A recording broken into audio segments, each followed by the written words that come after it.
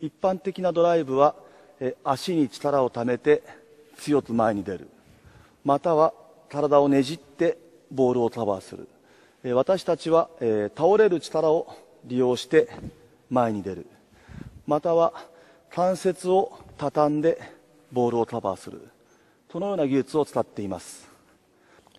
一般的なドライブなんですが左側に行く場合シュートモーション構えて体全体で前に進んでいくケースが多いと思います。その時にですね足はあんまり前に出ません。シュートモーションシュートフェイクからドライブ全体で進んでいきます。その時の後ろ足っていうのは強く蹴れるようにエネルギーをためてスタンバイしています。エネルギーをためて1、2で抜いていこうとします、え、そうすると、え、強いスタートは切れるんですが足の負担が大きくなります、えー、私たちのチームはそんなに身長大きいものいませんので、えこの足のさばきですと抜けきれないペースが多いです。ですので